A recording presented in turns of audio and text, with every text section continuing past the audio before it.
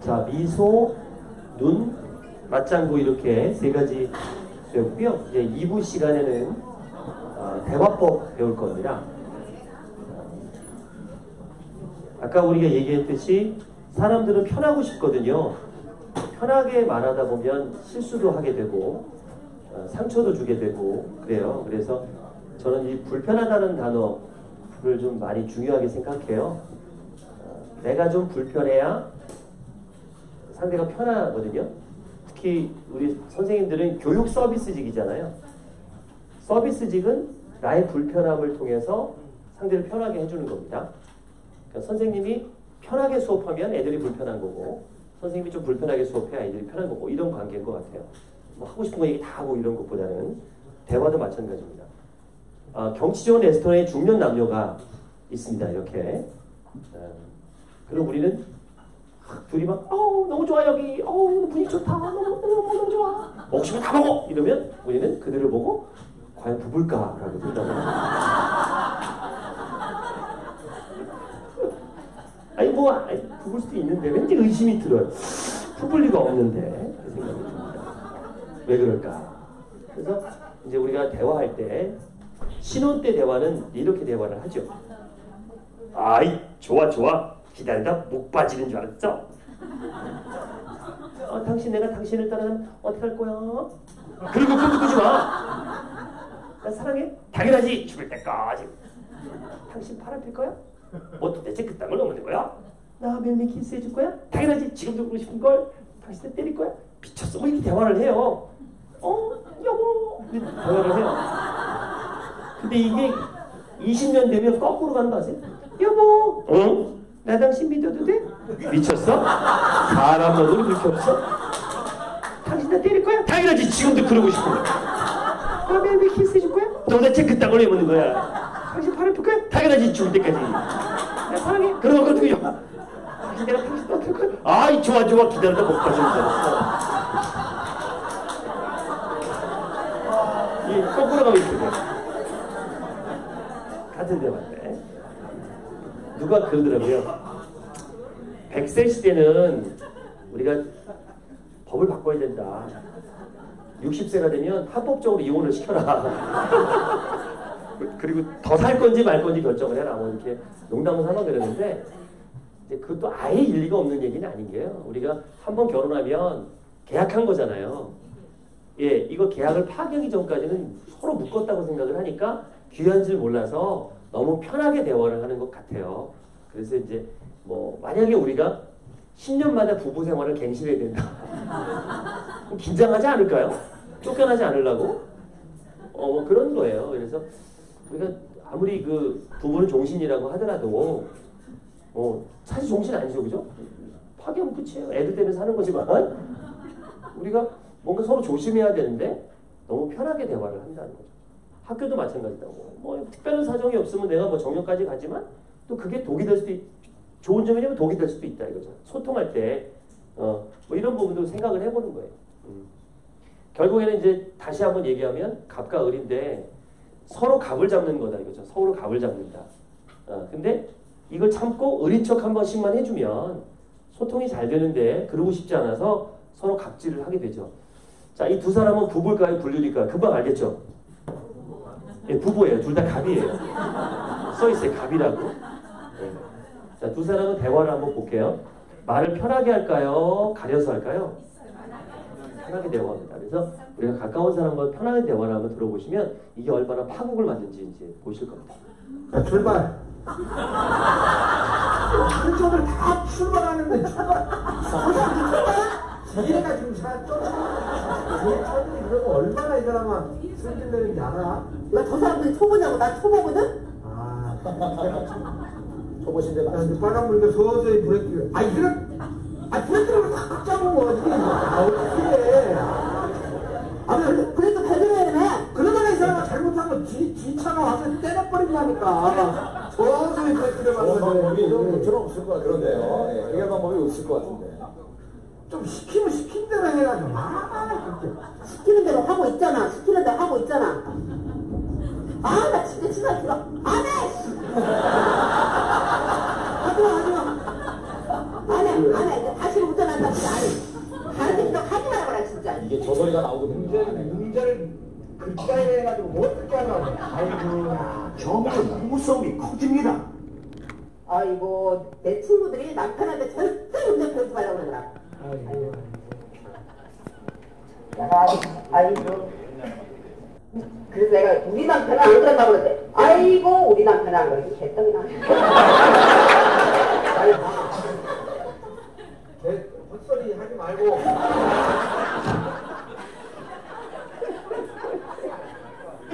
이 두 사람이 부부가 아니라면 싸울까요? 안 싸우죠. 옆집 사모님이라고 한번 해보세요. 절대 소리 지를 일이 아니에요. 근데 그냥 막 그래요. 우리가 이 남편 지금 걱정하는 사람 누구예요? 뒷차 되게 걱정이 됐어. 막 배려해주고 막 아, 짜증나잖아. 저 사람이 막 이렇게. 근데 솔직히 우리 가슴에 손을 얹고 생각해 보시죠. 저 사람만 저럴까요? 우리도 그럴까요? 우리도 가끔 그래요. 아니, 우리도 가끔 그래요. 우리는 이렇게 낯선 사람한테 되게 매력 있게 굴고요. 가까운 사람한테 막 그래요. 자, 직장에서 받은 상처 어디서 푸세요? 집에 풀잖아. 그죠? 어, 편하니까. 그래서 근데 상처를 연구해 보면 가까운 사람, 낯선 사람 어느 상처가 더 커? 가까운 사람. 그러니까 우리는 그 다 심리 상담 받아 보면 부모한테 받은 상처가 있다. 근데 부모는 상처 준 줄 모른다. 그럼 나는 안 줬을까? 나도 나도 모르게 상처를 줬다. 되게 조심해야 되는데 그냥 툭 뱉은 말이 아이들에게는 상처가 되는 경우가 많아요. 우리가 그렇게 살아요. 예, 뭐 나쁜 게 아니라 그렇게 살아요. 그럼 이걸 해결하는 방법 간단합니다. 아까 계속 얘기하는 거예요. 한 명만 갑질을 참으면 돼요. 소위 져주는 거지. 그게 돼요, 근데?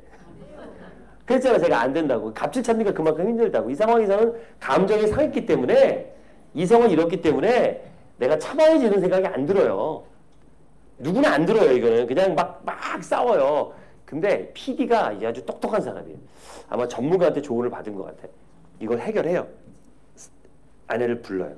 그게 어떻게 설득하냐면, 사모님, 저희 그 촬영하는 거 잊으셨나 봅니다. 너무 싸우십니다. 제가 팁 하나 드릴게요. 들어가셔서 우리 촬영이니까 촬영할 때만 존댓말로 말씀해 주세요. 이렇게 했어. 요건 말이 돼. 어, 존댓말로 할 수는 있잖아. 그래서 이제 사모님이 들어가서 아내가 들어가서 존댓말 하자고 얘기해요. 남편한테. 근데 남편은 이미 이성을 잃었어요. 그 상황을 보겠습니다. 우리 서로 존댓말을 해서 한번 해, 하고 그러면은 좀덜 싸울 수도 있어. 그러니까 우리 좀 존댓말로 해봐라. 아 현기라는데 이 사람아. 오, 가요. 응? 알았죠? 아 유튜브나 깜빡이를 네, 켜야지. 켰어요, 켰어요, 켰어요, 켰어요. 여기서 돌려요? 들어봐, 그렇지. 네, 알았어요.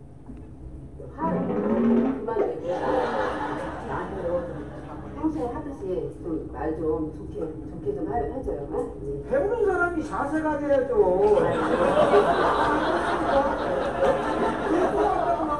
선생님한테 왜 자꾸 아니, 근데- 어? 애 들고 그러냐 이 말이에요. 한국 운전이 어떻게 속도 내다고 막 속도 내고 그렇게 못 하잖아요. 날 속도를 내라는 게 아니라 어? 흐름을 맞춰서 어? 그 깜빡이 켤때 키고 지금 아까 유턴할 때도 그 얼마나 위험합니까? 네? 깜빡이 끄고 아, 예, 됐어, 됐어요. 이런 거를 좀 좋아져요, 분위기가. 네? 더안 가도 돼요? 네. 오, 지금 많이 일단은 지금. 그러면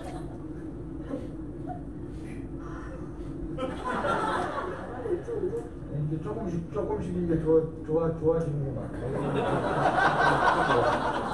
어우, 진짜. 이거 잘 본다며. 그 버스 왔어. 그렇지. 아, 그렇진 않았구나. 아. 내가 보니까 이제 뭐 한 두세 번 정도만 더. 그렇게 달라지시나요? 당신 화가 안 내면 더 잘해요.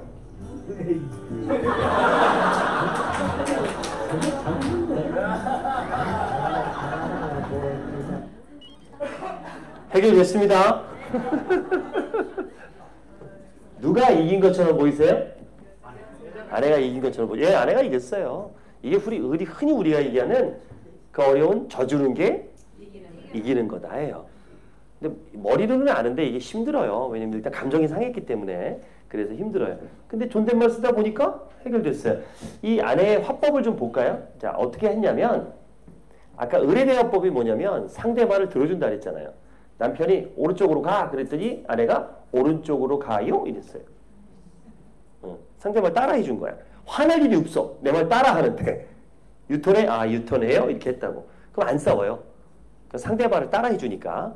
그리고 난 다음에 좀 있다가 아이고 내가 초보 운전인데 그렇게 윽박 지르면 내가 어떻게 해요? 라고 할 말이 없는 거지.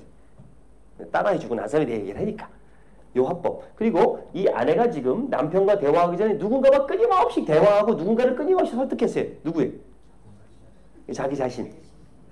어, 나랑 설득한 거예요. 야, 네가 좀 참아줘. 괜찮아, 괜찮아. 이렇게 그래서 설득이 되게 어려운 건 이게 가까운 사람일수록 편하니까 설득이 어렵거든요.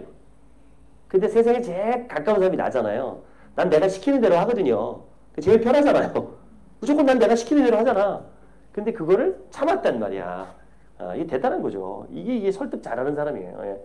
그래서 대화할 때는 1번 편하게, 2번 불편하게.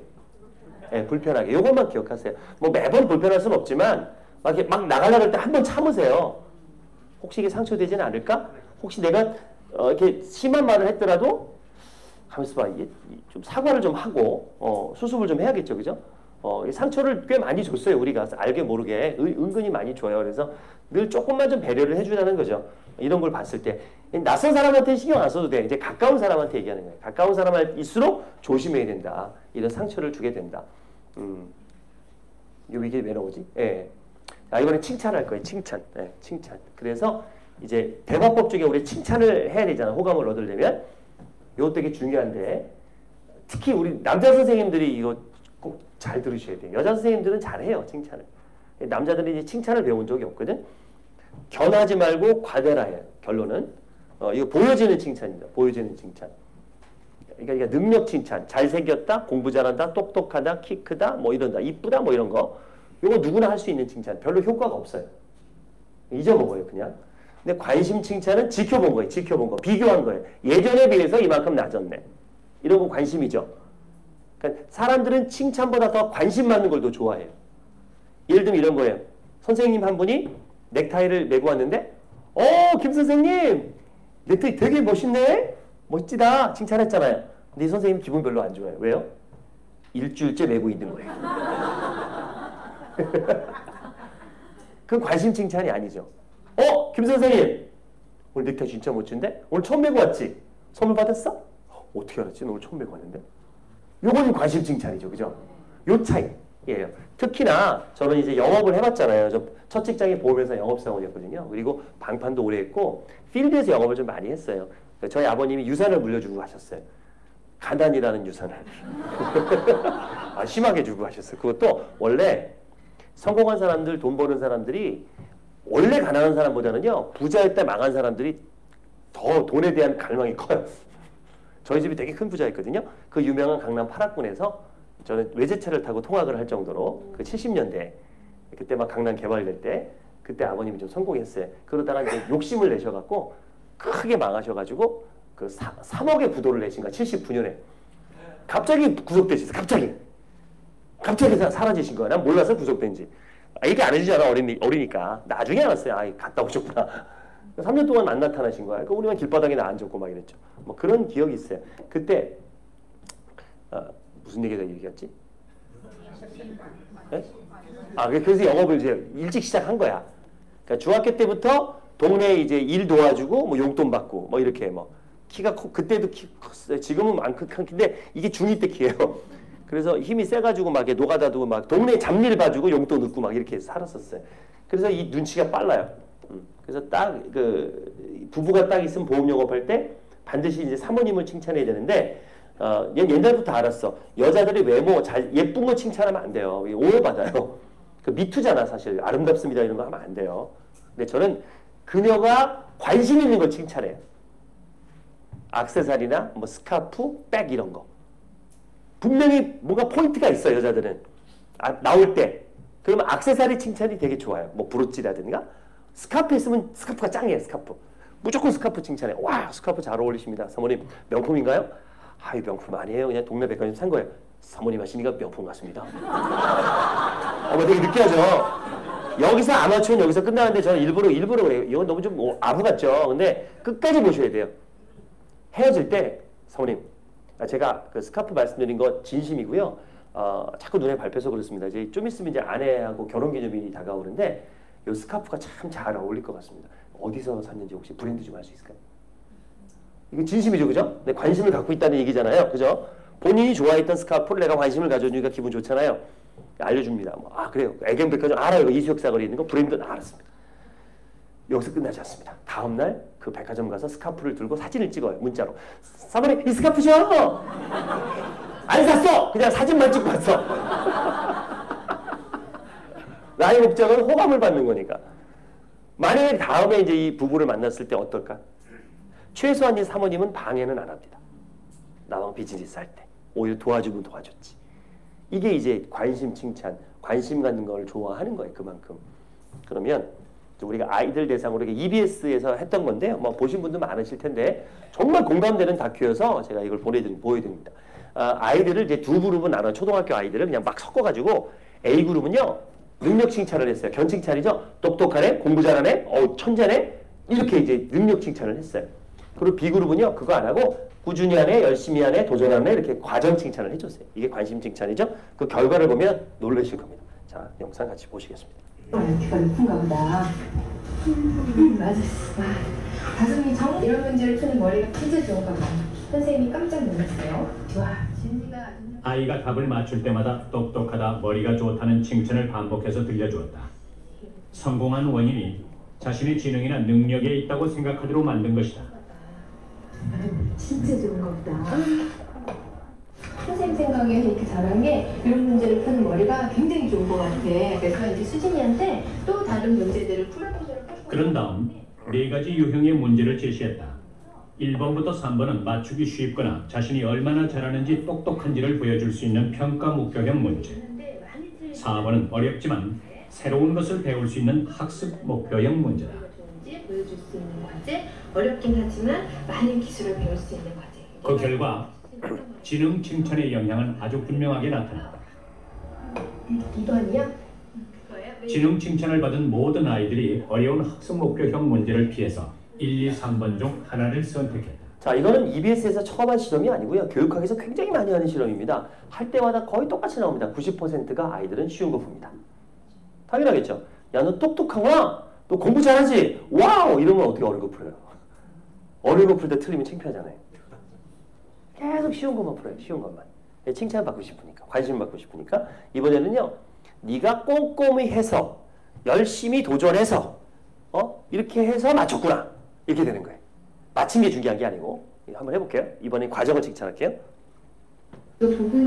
봤는데 이번에는 칭찬의 방법을 바꿔서 지능보다는 문제를 푸는 과정과 노력에 대해서 칭찬해 주었다. 차분히 잘 푼다. 열심히 노력하는 게 대단하다는 등의 말을 반복해서 해준 것이다. 차분하게 잘하네. 진짜 잘 풀어주면 열심히 노력해서 잘 푼 결과인 것 같아. 확실히 이렇게 대단하지 않고 참 이것저것 따져보면서 차분하고 노력하면서 잘 풀어준 것 같아요. 그래서 진돌이가 다섯 개를 다 만들 수 있는 것 같은데. 과정이나 노력 칭찬을 받은 아이들은 대부분 4번을 선택했다. 기술을 많이 배우니까 이건 아예 쉬우니까 도움이 안 되잖아요. 노력 칭찬이 아이로 하여금 어려워도 배워보겠다는 학습 목표를 갖게 하는 것이다. 자, 이 실험을 해보면 거의 90% 이상의 아이들이 어려운 4번 문제를 풉니다. 이- 당연하죠. 야, 너는 꼼꼼히 하는구나, 열심히 하는구나, 도전하는구나. 그런데 어떻게 쉬운 거 풀어요? 이걸 풀어야 그 얘기를 듣죠. 그러니까 원래 그런 애들이 아니라 관심 가져주고 칭찬해주면 그런 성향으로 바뀐다는 거다라는 거예요. 이거 뭐 아주 당연한 실험인데도 불구하고 이런 결과가 나옵니다. 근데 이게 제일 우리 학부모님들이 문제가 뭐냐면 제일 많이 하는 얘기 얘기잖아요. 너는 머리가 좋은데 노력을 안 해. 거꾸로 가고 있잖아요. 거꾸로. 노력 칭찬을 해야 되는데 노력 칭찬을 안 하고 그냥 능력 칭찬만 하잖아요. 그러니까 아이들은요 결과적으로 이제 교육학 박사님이 말씀하시는 게 이- 이게 제일 안 좋대 그 말이. 그러면 내 성적이 지금 안 좋잖아요. 그러면 그걸 합리화시키기 위해서 공부를 더 안 한대요. 이 잠재 의식에서 이 어릴 때부터 쇠뇌를 달한 거야. 나는 머리가 좋은 애야, 머리가 좋은 애야. 근데 내가 성적이 안 좋으니까 어떻게 돼? 이걸 합리화 시키려면 스스로 난 노력을 안 할 거야 이렇게 되는 거죠. 더 안 하게 되는 거예요. 그래야 이게 합리화되는 거거든요. 그런 아이를 만드는 거죠. 그 제가 기업체에서 소통 강의를 할 때 특히 임원님들 강의할 때 이걸 많이 해요. 그래서 이거는 조직에서도 마찬가지다라는 거죠. 어, 내 조직원들을 칭찬해도 똑같습니다. 그래서 테스트를 해보면요, 진짜 재밌는 게 어, 여, 나, 여기는 이제 안 할게요, 우리 선생님들은. 음. 왜냐면 이게 또 괜히 또 못하면 또 창피하니까. 근데 일반 직장인 가면 남자를 이게 시키잖아요. 진짜 칭찬 못해요. 깜짝 놀랄 정도로 못합니다. 어, 상황을 지어줘요. 중1이고요. 중1이고요. 얘는 수학을 너무너무 좋아해요. 그 다른 과목보다. 그래서 본인이 너무 가고 싶어 해서 수학학원을 보냈더니 얘가 수학 영재처럼 막 그 학원을 휩쓸고 얘만 100점을 맞은 거야. 선행학습을 막 하는데 막 고등학교 과정을 막 풀어 얘가 막 수학을 좋아하니까. 그러면 너무 좋잖아요. 그래서 얘만 100점을 맞았길래 이제 그래서 가상이에요, 가상. 아예 아내가 전화할 거 아니야 남편한테. 여보 이번에 우리 아- 아들이 수학학원에서 얘만 100점 맞았대. 빨리 누나 칭찬해줘. 알았어 내가 칭찬해줄게 하고 왔다고 하는 거예요. 그리고 마이크를 딱 들이대잖아요. 딱 두 마디 합니다. 잘했다. 뭐 먹고 싶니? 그 이상 하는 아빠를 못 봤어요 이렇게 강의를 듣고 해보라 그래도 그러니까 말은 쉬워 관심 칭찬. 뭘 관심을 가질지를 왜 부, 부모로부터 받아본 적이 없거든 우리는. 그 하려니까 힘든 거지. 그러니까 노력해야 돼 노력해야 돼. 저도 진짜 노력 많이 한 게요. 저희 아버님이 그 사업에 뭐 엄청 그 저희 아버님은 어느 정도로 무관심하셨냐면 제가 초등학교 2학년 때 학교 선생님이 꼭 부모님을 모셔오라는 거예요. 그래서 뭐지? 그러고 이제 기억이 나긴 나요. 그래서 내가 뭘 잘못했지? 잘못한 거 없는데 부모님 모셔오라는 거예요. 부모님 모셔왔다? 그랬더니 어, 머님이 이제 교무실 갔다 오니 날 이제 같이 집에 오면서 막 깔깔깔 웃어요. 왜? 그랬더니 효서가 너 선생님이 아빠 뭐 하시니 물어봤을 때 뭐라 그랬냐? 그래서 내가 기억이 안 나는 거 했더니 내가 그랬대요. 아빠 뭐 하시니? 그럼 지금 물은 거잖아요. 그죠? 아빠 뭐 하시니? 그랬더니 내가 뭐랬냐면 주무세요. 아니 자는 거밖에 못 봤거든 나는 우리 아버지. 왜냐면 뭐 사업하시니까 그 옛날인데도 이, 이, 이 사업을 또 크게 하시니까 이 경찰서장이 준 그 증이 있었어요. 통금증. 이걸 갖고. 요 백차 타고 들어오셨어 집에 새벽에. 워낙 경찰서장이 친해갖고 그러니까 우리 아버지랑 술을 먹으려는 사람들이 다 밤새도록 먹을 수 있잖아. 이 통금이 있는데 이 증만 있으면 되니까. 그 백차 타고 집에 오고 콜백시였다니까 백차가. 그 정도로 잘 나가셨어요. 그러니 맨날 아침에 주무시는 거예요. 사업한다고. 뭐 아버지랑 놀러 간 기억도 없고 대화 나눈 기억이 없거든. 그리고 갑자기 구속되셨죠? 3년 만에 나오셔갖고 시름시름 한테 돌아가셨다고. 그 추억이 없어요. 근데 아들, 딸을 딱 나갔는데 어떻게 해야 될지 모르겠는 거야. 나는 배운 적이 없거든. 너무 부담스러운 거예요. 진짜 힘들었어요. 근데 엄청 공부해갖고 안 되겠더라고, 선생님. 이제 막 고민사항을 얘기했더니 제자가 책을 하나, 청소부 밥이라는 책을 딱 선물해 준 거야. 이걸 읽어보면 아마 답이 있을 거래. 거기에 그 글귀가 기억나요. 가족은 축복입니다. 이렇게. 짐이 아니고. 그리고 딱 맞는 것 같더라고. 그래갖고 그때부터 관점을 바꿨어요. 엄청 노력했어요. 애들이랑 놀아주려고. 처음에 놀아주려고 노력했는데 지금은 이제 애들이 나랑 놀아주, 내가 놀아, 고맙죠. 애들 다 커서 이제 안 놀아주잖아요. 어쨌든 그, 그런 기억이 있어서 엄청 노력했어요. 아까 상황이 제 상황이에요. 중1인데 아들이 지금 중3이에요. 얘가 수학 학원만 다녀요. 다른 학원은 안 다니고 너무 효자죠. 어, 성격비 너무 많이 들잖아요. 얘가 근데 선행학습을 하더니 계속 100점을 맞아 오는 거예요. 얘만 칭찬해야 되잖아요. 그래서 배운 대로 했어요. 배운 대로 공부했으니까 관심 칭찬해야 되잖아요. 그랬어요. 아들, 너 이번에 수학 시험 잘 봤다면서? 야, 아빠도 수학 좋아하는데 오랜만에 같이 한번 이거 좀 끌려고요. 같이 한번 아빠랑 같이 수학 문제 한번 풀어보자. 그 성지 갖고 와봐. 얘가 컨닝을 했으면 안 갖고 오겠죠. 그 자기가 풀었으니까 갖고 오죠. 자랑하려고. 식탁에 앉아갖고 같이 푸는 거예요. 전 중1이라고 우습게 봤어요. 와, 모르겠어요. 고1 거래. 얘가 선행학습을 하고 있는 거야. 신이 나서. 야, 뭐 이런 걸 벌써 푸냐? 벌써 얘 좀 심한 거 아니냐? 막 이러면서 이제 막 모르겠으니까. 나 공부 좀 잘했거든요. 나도 나름대로. 그래도 좋은 학교 나왔고. 수학 잘했는데. 모르겠어요. 그래서 막 물어봤어요. 얘가 막 가르쳐 주더라고요. 그래서 아, 조금 기억이 나요. 아, 아빠 여기서부터 아빠 풀어볼게. 하고 대화를 나누기 시작했습니다. 그러다 6번 문제를 봤는데 이렇게 깨끗해요. 시험지가. 풀이, 풀이라는 게 자국이 없어. 이건 어떻게, 야, 어떻게 된 거야? 했더니 아빠, 이 정도는 암산으로 풀어. 이러는 거야. 오, 이걸 암산으로 풀었어? 또 칭찬해주고. 25번 문제가 마지막 문제인데 보통 이제 수학 시험 마지막 문제는 이렇게 많이 칸을 해놓잖아요. 다 주관식이라고. 그러니까 반 페이지를 빼곡히 풀었더라고 얘가 연필로 그 맞춘 거예요. 내가 봐도 신기해요. "헉, 이거 어떻게 풀었어? 그랬더니 지가 어깨를 빡 펴더니 이거 다 틀렸다니까. 다 틀렸대. 자기만 맞췄대. 자기만.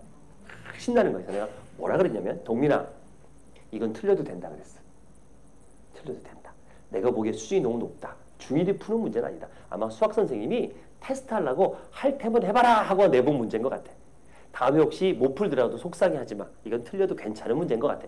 근데 지난번에 내가 한번 그런 적이 있었지. 100점 못 맞았다고 속상한 게 실수했다고 막 억울했잖아. 오늘은 없- 없는 거래. 그랬더니 야, 이번에도 요걸 일찍 풀고 그래도 시간이 좀 남아갖고 재검토하다가 발견했대요. 발견해갖고 그걸 고쳤대. 그래서 맞췄대. 아빠는 그래서 아빠는 이게 더 기쁘다. 그 문제가 더 기쁘다. 25번 문제는 틀려도 되는데 이건 틀리면 안 되잖아. 억울하잖아. 다음에 100점 안 맞아도 돼. 실수만 안 하면 아빠가 또 칭찬해줄게. 이랬어요. 30분 걸렸어요. 이 칭찬하는데. 근데 그게 효과가 있다는 걸 알, 알았던 게 그 다음부터 중간고사, 기말고사만 되면 시험지를 들고 와요. 제 방으로 와요. 아빠! 이러고 100점 맞은 것만 갖고 와요. 지가 잘 봤다고 생각하는 건 갖고 와요.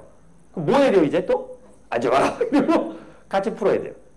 좋은 거지. 저희 아들이 말을 진짜 안 하는 아들이거든요. 말, 그러니까 대화가 거의 없는 애예요. 그런데도 들고 와요, 애가. 그러니까, 아, 이게 좋은 거구나 느꼈어요. 그러니까 노력을 해야 되더라고요. 공부를 하면 되더라고요. 그래서 이 칭찬이라는 부분, 관심 칭찬, 이걸 좀 어, 공부를 했으면 좋겠어요. 자, 그 다음에가 이제 복사 화법입니다. 지금 사회는요, 뭐 말도 안 되죠. 이런, 일이 일어났어요. 근데 이게 제정신이 아니었던 거죠. 그러니까 이게 이성을 잃은 거야. 이제 감성이 이제 감정이 상한 거야.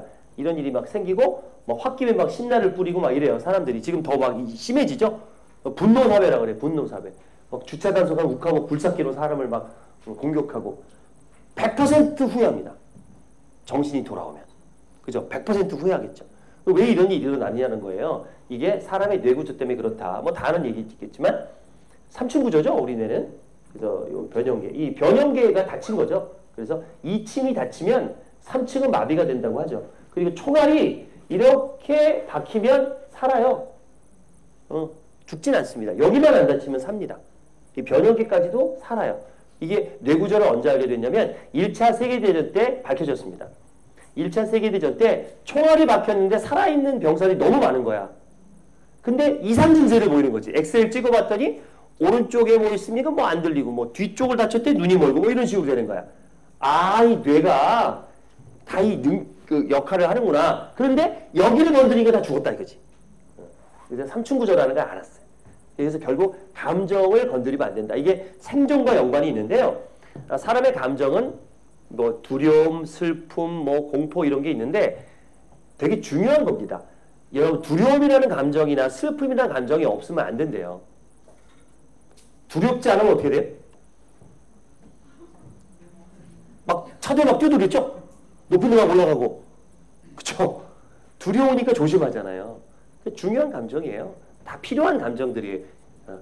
아니, 호랑이를 딱 만났는데, 아, 두려움, 아, 귀엽네. 이러면 안 되잖아요. 그죠? 어, 도망가야죠. 그죠? 그런 게 감정이에요. 그래서 이- 근데 이게 굉장히 반응이 빠르고 얘가 움직이면 얘가 마비가 된다.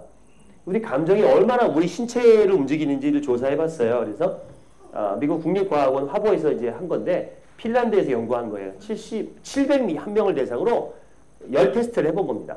아, 그랬더니 평균적으로 나온 거예요. 자, 화가 날 때 어디 열이 날까요? 예, 예, 위쪽으로 가는데요. 특이한 게 있어요. 주먹에도 열이 납니다. 우리 화나면 부르르 떨죠. 이렇게 폭력적이 되는 거예요. 열이 나기 때문에. 그리고 부끄러우면 예, 볼만 열나 볼만 이렇게 볼만 열이 나 신기하게. 예. 그리고 이제 우울하면 체온이 급격하게 떨어집니다.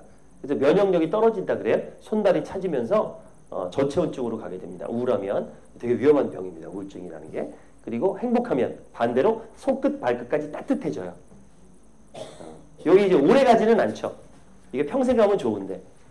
그래서 어, 이런 경우 있어요. 대레사 효과라 그래서 자원봉사를 꾸준히 하는 사람들은요. 자원봉사할 때 체온이 올라간대요. 스스로 행복감을 느껴서 그래서 면역력이 올라가서 오래 산다는 그 대레사 효과로 검증이 된 겁니다. 아, 이렇게 면역력이 올라가요. 체온이 올라가면 사랑에 빠지면 어디가 열이 날까요? 예, 이참 신기한 게 이 생식기 쪽에 열이 많이 납니다. 당연하죠, 그죠? 어, 좋은 거예요. 사랑하니까. 그래서 이렇게 우리가 감정이 중요하다는 걸 열화상으로 알게 됐고요. 자, 우리가 이제 다- 대화는 세 종류가 있는데 다가가는 대화. 낯선 사람한테 다가가는 대화를 하는데 아까 말씀드린 것처럼 가까운 사람한테 멀어지는 대화, 원수되는 대화를 합니다. 경멸 이런 걸 해요.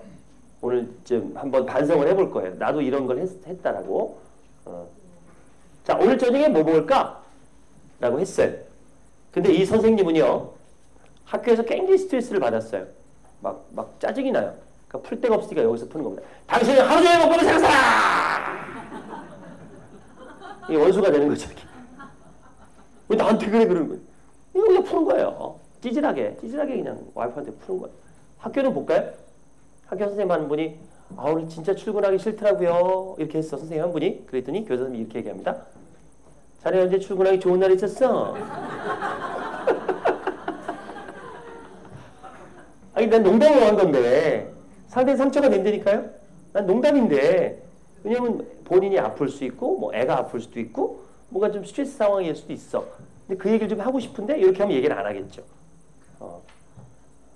상대방을 즉각적으로 반박하거나 비웃거나 무시당한 기분이 들죠. 그러면 모멸감도 느낍니다. 이번엔 원수까지는 아니고요. 이제 멀어지는 대화를 볼게요. 여보 오늘 저녁에 뭐 먹을까 그랬어요. 근데 보통 갑의 대화는요 안 들어요. 지 말만 합니다. 잘 안 듣고 당신 컴퓨터 안 쓸 거지? 나 좀 일 좀 해야 되는데 이거 많아요. 은근히 특히 이제 학부모들이 이런 실수를 많이 하는데 애랑 얘기하다 갑자기 그럽니다. 갑자기 숙제했어? 뜬금없이 숙제했어 물어봅니다. 뜬금없이 궁금하긴 해도 그 그때 물어보면 안 되는데 이게 자기가 하고 싶은 얘기만 하는 이제 상태를 얘기하는 겁니다. 이것도 서운해요. 자 오늘 진짜 출근하기 싫다라 그랬더니 얘기합니다. 아 신입 선생님한테 밥 좀 사주고 그래요. 얼굴이 얼굴이 안 좋더라 이렇게 자기 할 말만 하고 가는 거죠. 어, 그러면 서운하죠. 이것도 서운하죠. 이런 것도 이제 엉뚱한 소리를 한다, 무반응을 한다, 무시당한 기분이 들고 외롭고 서운함을 느낍니다. 그럼 어떻게 되느냐? 자, 오늘 저녁에 뭐 먹을까? 그랬을 때 어떤 부부가 김치찌개 바로 나와요? 안 나오죠. 그래서 복사법이 필요한 겁니다. 오늘 저녁에 뭐 먹을까? 그러면 우리 본능적으로 뭐 오늘 저녁에 뭐 먹을까 하고 따라하죠. 예, 예, 이게 복사법이에요. 그런 다음에 생각납니다. 아, 김치찌개 어때? 이렇게 되는 거죠. 제가 이걸 예, 스피치를 연구하면서 놀라운 걸 발견했습니다. 여자랑 남자랑 스피치가 다르다. 완전히 다른 게 있습니다. 여자 남자들은요 모르는 걸 물어봅니다. 여자들은 아는 걸 물어봅니다. 놀랍습니다. 제가 연구해 보니까 너무너무 놀라워요. 여기서 문제가 많이 발생합니다. 우리 남자들은 그런 낯다운 짓을 안 합니다. 어제 내가 뭐 했는 줄 알아? 이런 얘기 안 합니다. 여자들은 꼭 물어보. 그래서 아 아내랑 대화하면서 느꼈어요. 아 이거 알고 물어보는 거구나. 근데 우리는 모르거든요. 그러면 대답할 필요가 없다는 걸 알았어요. 아 이걸 따라하면 되는구나. 집사람이 그래요. 딱 퇴근하자마자 여보 우리 거실에 뭐 변한 거 없어? 이런 거 물어봅니다. 변한 거 있는 거 없는 거예요. 반드시 있으니까 물어봤겠죠. 근데 우리는 못 찾아요. 그 찾을 필요가 없다는 거죠. 그 말을 따라하면 돼요. 어 그래요 뭐 우리 거실에 뭐 변한 것 같은데 하면 돼요. 어, 변했으니까 물어본 거 아니에요. 그럼 지가 답답하게 얘기합니다. 화분 샀잖아. 화분. 이러는 거예요. 어우 그렇게 다 넘어가더라고. 그걔 잘못 맞춰갖고 혼나고 필요 없다는 거야. 그냥 물어보면 된다 이거지. 물어보면 된다. 아니 해, 해볼까요? 딱 했는데 우리 선생님 한 분이 교수님 딱 했는데 선생님 한 분이 갑자기 막 오더니 어 교수 선생님 어 왜요 왜요 저뭐 변한 거 없어요? 라고 물어보는 거예요. 그럼 지금 필요 없는 거죠? 물어보는데요. 변한 거 같은데요? 그러면 되는 거지. 그 지가 얘기해요. 저 머리 했어요? 어떻게 하면 돼요? 머리 했군요? 오! 절대 여기서 안 끝나요. 그분 여기서 안 끝납니다. 나 어디서 할게요? 이러고 물어봅니다. 또 어떻게 하면 돼요? 어디서 했죠? 동네구에 새로 미용실이 생겼거든요. 아, 동네구에 미용실이 생겼군요. 그런데요. 선생님, 그 미용실이 뭔 줄 알아요? 그 대에서 내가 어떻게 알아요? 그러면 안 되는. 글쎄 그 미용실이 뭐예요? 글쎄 미용실님이 너무 웃겨요. 깎고 뽀꼬예요. 아이고 미용실이니 깎고 뽀꼬라고? 뭐 재밌네. 선생님 저 얼마 주고 할게요? 얼마 주고 있는데요? 5천 원 줬어요? 5천 원 줬어요? 싸게 했네. 저 예뻐요? 예쁘게 잘했어요. 하면 되죠. 내가 한 게 뭐가 있어요? 따라하면 돼, 따라. 따라하면 훌륭한 대화가 돼. 물론 이제 제가 좀 과장돼서 했지만 중간중간에 상대 말을 따라하면 되게 이 리듬이 있고 좋아집니다. 어, 제가 딸한테 테스트를 해봤어 어렸을 때 제가 연구했다 그랬잖아요. 네살 때부터 이걸 써봤더니 너무너무 잘 먹히는 걸 느꼈어요. 네살 때부터 딸내미 겁니다. 아빠! 그때 걷다 대고서 우리 딸 그러면 안 되더라. 왜 복사법은 예, 톤까지 맞춰주는 거 맞죠? 그래서 아이들이 엄마한테 가는 거 엄마들은 톤을 맞춰줘요. 그래요 이렇게 하는데 아빠들은 그래요 이러면 이상한 거잖아 이게 이 주파수가. 그래서 아이의 주파수로 맞춰주는 거죠. 아빠 하면 우리 딸 이러는 거죠. 한번 해볼게요. 우리 이제 손주 보실 거잖아요. 손주 어, 손주 보실 거잖아요. 그래서 손주한테 잘 보여야 돼. 자, 한번 해볼게요. 손주로 할까? 어, 어, 할머니 이러면 이러면, 아 우리 손주 이렇게 하는 거죠. 어, 여자들이 만나 오케이 할머니로 할게요. 할머니 네, 남자 위주로 합시다. 자, 할아버지! 우리 선주. 자, 할아버지들, 할아버지들. 자, 할아버지! 아이고, 우리 선주. 할아버지, 이게 뭐게? 이게 뭘까? 그렇지. 이게 뭘까? 하는 거죠. 이게 뭐게? 이게 뭘까? 그림 그린 거다? 아, 그림 그린 거구나. 진짜 잘한다. 무슨 그림이 이게? 무슨 그림이야? 꽃 그린 거다? 아, 꽃 그린 거구나. 무슨 꽃이 이게? 무슨 꽃이야? 해바라기 꽃이다? 아, 해바라기 꽃이구나. 누가 그렸게?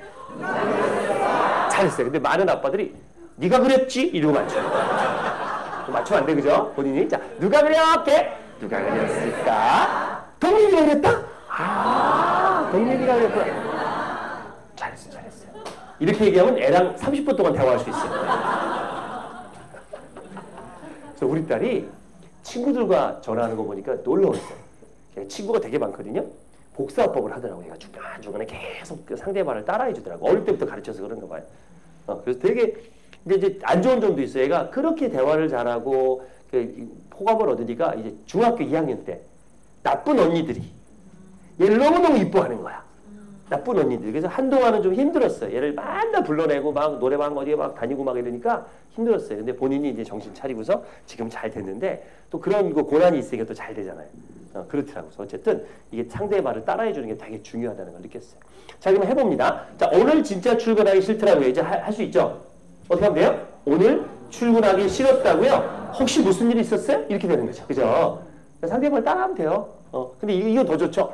아이고, 그러고 들어보니까 이게 비본날 근무하다면서요? 이렇게.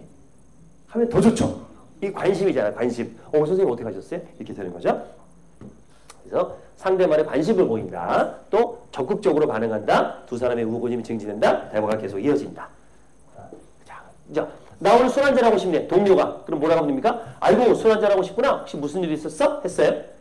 아우, 아내하고 싸웠어. 하면 아내하고 싸웠다고? 무슨 일이야? 해야 되는데 걷다 대고서 야, 부부싸움 칼로 물백이야. 그런 데서 술 마셔. 기분 기분 좋은 거야. 그냥 집에서 집에서 싸워해. 이런 경우 꽤 많아요. 그냥 자꾸 충고를 하려고 그래요. 네가 잘못했네. 네가 사과해. 이러는 거 바라는 게 아니라 그냥 공감해주고 그럼 본인이 말하다 보면 에휴 내가 잘못한 것 같아 이렇게 나올 때까지 그렇게 해줘야 되는 거예요. 본인도 알아요. 얘기하다 보면 그냥 하소연하고 싶은 거 이런 일이 많다. 남자들이 제일 이렇게 많이 해요. 꼭 뭘 해결해 주려고 그래 자기가 들어줘. 여자들은 안 그렇더라고. 들어주고 끝내잖아요. 그죠? 요건 배워야 돼요. 음. 자 경청 대 경청은요 단정하지 말고 따라하자 미러링 그리고 관심 앞으로 요것도 중요해요. 저도 되게 많이 고쳤어요. 요게 편하거든요. 왜? 왜? 왜? 이게 편해요. 근데 듣는 사람은 조금 오해할 수 있어요. 따지는 것 같잖아요. 어, 무슨 일인데? 뭐 때문에 이렇게 된 거예요? 어떻게 된 겁니까? 언제부터 그랬어요? 이렇게 구체적으로 물어보는 게 좋습니다. 그래야 내 말을 듣고 있다고 생각하거든요. 왜라고 하지 않기. 그리고 아이고 힘들겠네. 또는 아 기쁘시겠어요. 어 기쁘시겠어요. 아우 그 얘기를 들으니까 저도 기쁘네요. 같이 공감해 주는 거. 감정을 읽어주고 공감해 주는 거. 이게 되게 중요합니다. 그래서 제가 삼성에 삼성에 삼성은 노조가 없잖아요. 그래서 이제 중요한 사람이 있어요. 그 인사부대마다 고충 처리 담당 직원이 3년 단위로 바뀌어요. 계속 그래서 3년 단위로 교육을 시켜요. 고충을 어떻게 처리해야 되고 그러니까 이 사람 이 친구는 불만이 있는 거를 들어주는 직업이에요. 자기가 해결할 수는 없어. 그러니까 뭔가 문제가 있으면 이 사람한테 가서 하소연을 하면 노력을 하지. 그래서 그, 그걸 이제 가르쳐서 간 거예요. 그분들을 이제 삼성그룹의 전 직원 중에 인사 담당, 그 고충 담당만 되게 많아요. 그래갖고 한 4년 걸쳐서 했어. 다 못 모여가지고. 그때 얘기했던 게, 들어서 인사 불이익을 받았거나, 갑자기 지방 발령을 받았거나, 이럴 경우에 씩씩대잖아요. 그리고 찾아왔을 때 가장 쉬운 방법을 말해줬어요. 그렇게 왔을 때 자리를 이동해라. 반드시. 강도가 셀수록 회사 밖으로 나가라. 왜요? 왜죠? 나가는 동안에 감정이 식어요. 그러니까 감정이 격한 상태에서 얘기해봐야 아무 소용 없거든요. 그래서 꼭 그리고 복도나 엘리베이터를 타고 나가잖아요. 그럴 때는 복도에서 그런 얘기는 안 한다고요. 엘리베이터에서 그런 얘기는 안 하잖아요. 근데 복도에서 또 인사 담당이면요. 자기 직원들의 가족 관계를 다 외우고 있어야 돼요. 주로 아이들이나 이런 소식을 물어봐라 라고 얘기해줘요. 애가 지금 몇, 아, 아이가 지금 중학생이죠? 부터 시작해서 그렇게 아이들 얘기를 하거나 아니면 가족 얘기를 물어보면 좀 그런 얘기를 대답하면서 조금 이제 수그러들어요. 그런 다음에 커피숍도 멀리 가고요. 커피숍에서 묻지도 말고 따지지도 말고 그냥 냉커피 시키라 그랬어요. 왜 뜨거운 거 주면 사람이 또 열받아가지고 막 아이씨 이렇게 되거든요. 원래 열받으면 막 벌컥벌컥 마셔요. 그냥 묻지도 말고 따지도 말고 안 마셔도 좋아. 손에 쥐어주란 말이야 이렇게 찬 거를. 그러면 이제 좀 식어요 감정이. 그런 다음에 차근차근 얘기를 들어라. 자리부터 이동하는 것만으로 절반은 해결이 됩니다. 뭐 그런 것들. 그만큼 감정이 상해 있으니까 감정만 들어줘도 공감만 해줘도 돼요.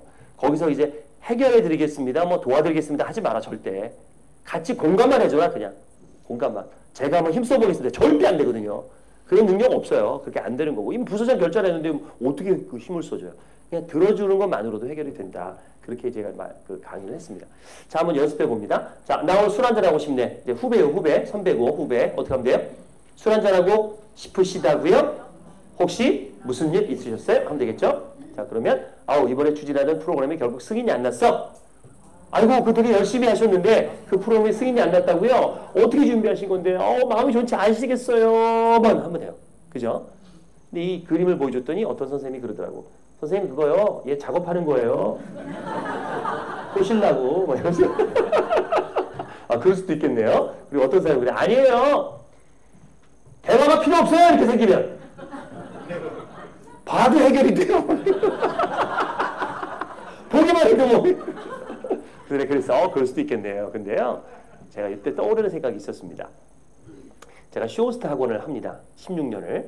그러면 요런 요런 친구들이 많아요. 솔직히 많아요.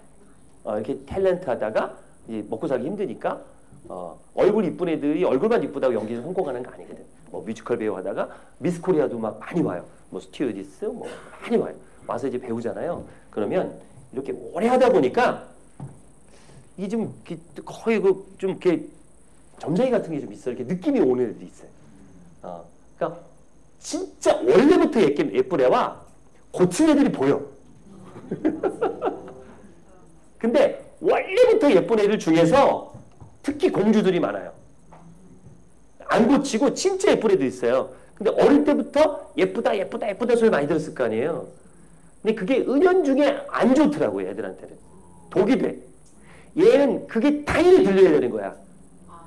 그 예쁘다 예쁘다를 그러니까 예쁘다 소리를 못 들으면 이제 불안한 거지. 그러니까 그런 아이들이 이제 저도 한 16년 해보니까 이렇게 오히려 나이 먹어서 이제 얼굴이 변하잖아요. 뭘 자꾸 넣더라고. 여기다가. 근데 이 넣는 게요. 저도 이제 성형 쪽을 좀 이렇게 알아봤는데 이게 50세까지는 넣을 수 있는데 그다음부터 못 넣습니다. 더 넣으면 이제 얼굴이 빵빵해져가지고 표정이 없어. 그다음부터 이제 얼굴에 손을 대봐야 이제 효과가 없는 거죠. 그러면 어떻게 돼? 60세 이후에는. 예쁘다 소리 못 듣잖아. 그럼 힘든 거지. 어. 그래서 오히려 그게 나는 안 좋은 것 같아. 너무 이쁜 것도. 그냥 적당히 이쁜 거 모르게 너무 이쁜 것도 안 좋은 것 같아. 내가 보니까. 어, 어, 어. 그리고 저는 그런 얘기도 해요. 예쁜 애들은 절대 사무직 하지 마라. 사람 만나는 직업에 대해 너의 그 아름다움을 주변한테 베풀고 살아야 돼. 길거리 많이 다녀야 된다는 생각을 해요. 그러니까 자꾸 나와야 돼. 나와갖고 이렇게 돌아다녀야 돼. 이렇게 해서 이렇게 그게 하느님이 주신 역할이에요. 너는 그러라고 그렇게 이쁘게 만든 거예요. 근데 문제는요. 이제 안 예쁘다, 안 예뻐지고 아, 뭐 그러면 그 다음 어떻게 사냐는 거지. 근데요. 학원 애들 중에서 얼굴은 별로 안 예쁜데 말을 예쁘게 하는 애들이 많아요. 말을 예쁘게 하는 애들이 있어요. 그쵸? 근데 그건요. 나이가 먹어도 주변에 친구들은 많아. 얘는 얼굴이 중요한 게 아니라 얘만 만나면 기분이 좋아지거든. 말을 예쁘게 하니까. 그러니까 말을 예쁘게 하는 게 더 중요하지 얼굴이 예쁜 거는 한때더라. 그러니까 제가 말을 참 예쁘게 하거든요. 음. 아, 제가 말을 예쁘게 해요. 그 집사람이 인정해요. 그게 그렇게 된 이유가 아내가 우울증이 좀 심해요. 나중에 알았어. 결혼 9년 차에 알았어.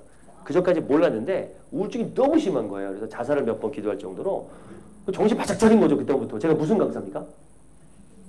소통 강사잖아요. 근데 아내가 만약에 죽었어. 근데 어떻게 되는 거예요? 그래서 하나님이 아마 그러신 것 같아요. 또 제대로 해보라고 어, 시련을 주신 것 같아요. 그래서 아내를 치료하고 간호하면서 되게 많이 배웠어요. 절대로 마, 마, 말을 할 때요. 한 번 더 생각해야 돼요. 유리 멘탈이에요. 유리 멘탈. 굉장히 조심해요. 말 한마디 한마디를 되게 정성스럽게 합니다. 싸울 일 있을까 없을까? 싸울 일 자체가 없어요. 어. 이쁘게 말하니까. 그러면 아내는 저를 막대할까요? 잘해줄까요? 잘해줍니다. 세상에 한 보름 전의 일입니다. 보름 전에 아침에 일어났더니 닭백숙을 해줬어 아침밥으로. 뭐 전달해놓고 이제 이제 데운 거지. 근데 아, 이제 다른 집 외국 가 있고 아들하고만 사는데 아들한테 다리 하나, 나한테 다리 하나 이렇게 주 그냥 자기는 그냥 중앙 먹더라고요. 근데 그랬잖아. 여보, 닭다리 왜 두 개밖에 없는 거야? 왜 세 개가 아닌 거야? 이렇게 쳐다보더라고. 참 말을 이쁘게 한다. 그래야 또 얻어 먹죠, 그죠? 그래야 다음에 또 닭박죽 해줄 거 아니에요. 근데 이거 당연하게 먹으면 안 된다는 거지. 이쁘게 말을 해야 돼. 이쁘게. 그래서 말을 이쁘게 했으면 좋겠어요. 그런 얘기 진짜 했어요. 집사람이 그래서 나중에 그러더라고. 한 두 달 됐어요. 두 달 전에 저랑 같이 술 한잔 먹으면서 그러더라고. 자기는 다시 태어나도 저랑 결혼하겠대. 그 얘기 듣고 무서웠어요. 얼마나 무서웠는지 몰라요. 어떻게 또 살아야 이러고 조심하면서 이러고 너무 고맙더라고. 그래서 아 최소한 나는 집에서 쫓겨날 일은 없겠구나. 이것만 잘하면 되니까. 그러니까 이제 돈 많이 벌, 돈잘 벌던 남편이 나중에 돈 못 벌면 쫓겨나잖아요. 그렇죠? 근데 이제 립 서비스 잘하는 남편은 아마 안 쫓겨날 것 같아요. 제가 돈을 못 벌더라고요. 그래서 열심히 좀 하고 있습니다. 자, 우리는 이렇게 비난, 방어, 경멸, 담쌓게 하지 말고 했으면 좋겠습니다. 자, 어차피 쉬는 시간 드리면 또 한 15분 쉴 거니까 그냥 훅 해갖고 30분에 끝낼게요. 그게 낫죠, 그죠? 예, 빨리 끝내는 게 나아요. 예, 빨리 끝내겠습니다. 똑같은 거잖아요, 그죠? 어. 자, 복사법 배웠고 이제 이제 하이라이트. 어, 여러분이 궁금해 하시는 홈쇼핑 스피치를 이제 배웁니다. 어, 왜 이걸 배우셔야겠냐면 어, 저희 학원에 교장 선생님 출신 분이 한 두 분이 주 수료하셨어요. 예, 왜 오셨냐 그랬더니 이분은 그 참 좋더라고 그, 그 어, 저 해외 여행을 그렇게 좋아하세요. 그래서 학교 생활할 때도 꼭 이제 그전 세계를 다 여행을 하신 분이에요. 가면 한 달씩 갔다 와. 얼마 전에 아프리카를 갔다 왔는데, 어, 근데 이 은퇴하고 나서 뭔가 도전하고 싶다는 거예요. 그래서 또 여행 경비도 좀 마련하고 싶고, 연금이 나오긴 하지만, 그래서 영업을 시작하셔서 방판 영업을 이분이, 어, 이게 무슨 뭐, 무슨 욕조인데, 욕조가 막 500만 원 막 이래요. 막 이렇게. 뭐 반신욕하는 욕조래. 그래서 그걸 배우고 싶다고 오셨는데, 정말 열심히 하세요. 어, 근데 마찬가지예요. 우리가 앞으로 100세 시대이기 때문에 아마 제2의 인생을 사실 거야. 나중에 은퇴하시면. 어, 근데 꼭 영업이 아니더라도 내 사업이라든가 누구를 설득할 일이 많이 있어요. 또는 저처럼 강사가 되는 것도 좋아. 근데 강의는요, 반드시 동기부여가 들어가야 돼요. 하고 싶다, 바뀌고 싶다가 있어야 돼요. 이제 지식 강의가 아니라, 그러려면 이 홈쇼핑을 좀 배우시면 좋아요. 홈쇼핑은 뭐 살려고 보나요? 보다 보면 사나요? 보다 보면 가슴이 벌렁벌렁거리고 사잖아요. 왜 그런지를 알려드릴 거예요. 그래서 동기부여에는요, 홈쇼핑 쇼스가 짱이에요. 짧은 시간에. 그게 이 비법이 요겁니다. 어떻게 열 거냐, 어떻게 믿게 할 거냐, 어떻게 움직일 거냐로 순서로 갑니다. 첫 번째 오픈부터 보겠습니다. 항상 비즈니스를 하든 누굴 만나든 저는 감사하면서 시작을 합니다. 입에 달고 사는데요. 하루에 아마 100번 이상 하는 것 같아요. 이 감사합니다를. 어, 결국 내 마음도 좋아지고요. 그래서 이래요. 저는 찾아가면 시간 내주셔서 감사합니다가 첫 마디예요. 누가 찾아오면 와주셔서 감사합니다. 또 강의 시작할 때도 아, 이렇게 좋은 자리 감사합니다. 이렇게 시작을 해요. 항상 감사하는 마음으로. 그러면 이제 상대도 호감이 가지만 나도 기분이 좋아진다. 아, 그래서 이 호감 때문에 그렇고요. 그 다음에가 이제 궁금하게 만들어야 돼요. 음, 지금 오늘 이 강의가 저를 막 만나고 싶어서 온 게 아니라 이제 어떻게 뭐, 어떻게 그냥 어떻게 보면 모인 거잖아요, 그냥 의무적으로.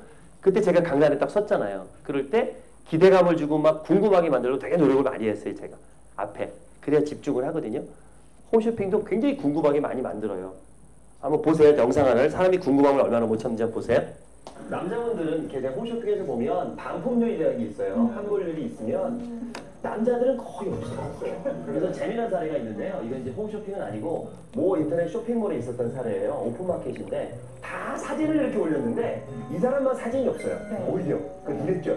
그다 두 줄인데 이 사람은 단어 하나예요. 그거 팝니다. 뭐지 그거? 사진도 없고 그거 팝니다. 이거 후킹이거든요. 그 흔히 말하는 후킹인데 납치질인데 그걸 보고 안 누를 수가 없는 거예요. 사람이. 궁금하잖아요. 그거 보면 그게 뭐지? 들어가 봤어요. 440명이 샀어. 그거를 미리 기사, 기 사, 산 사람이 있고 구매 만족도가 있잖아요. 오픈마켓에는 98%. 뭐지? 그럼 더 궁금한 거예요. 볼게 하나 있어요. 이렇게 구매 후기가 있어요. 소비자들이. 그걸 읽어보는데 너무 궁금하게 쓰는 거예요. 판매자님 진작하시죠. 어떤 사람이 아내가 이렇게 좋아할 줄이야 진작 살죠. 어떤 사람은 밤이 두렵잖아요. 어떤 사람은 힘이 벌벌 납니다. 어, 또 어떤 사람은 속살이 어쩌면 이렇게 이건 또 뭐지? 너무, 너무 궁금하잖아요. 근데 여자들은 잘 안 사는데 남자들은 이제 살짝 그쪽으로 가요.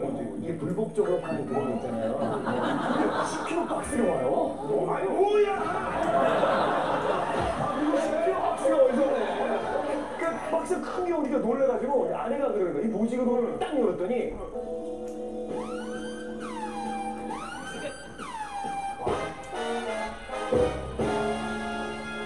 어, 딱 보는데 뭐야? 해남산 호박 고구마가 딱 나옵니다. 해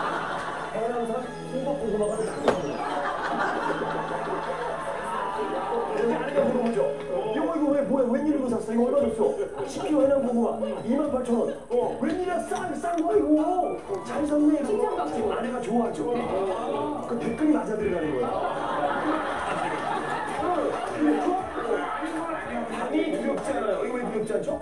밤에 야식. 밤에 야식이잖아요. 열에 아홉 남자는 뭐라는 줄 아십니까? 고구마 먹으면서 지도 댓글을 써요. 저도 성공했습니다. 140개 댓글 중에서 쓴 사람이 한 명도 없어요. 매일 들어가면서 보는 거야. 누가 늘어가는 숫자에 자기도 희열을 느껴. 야, 아직도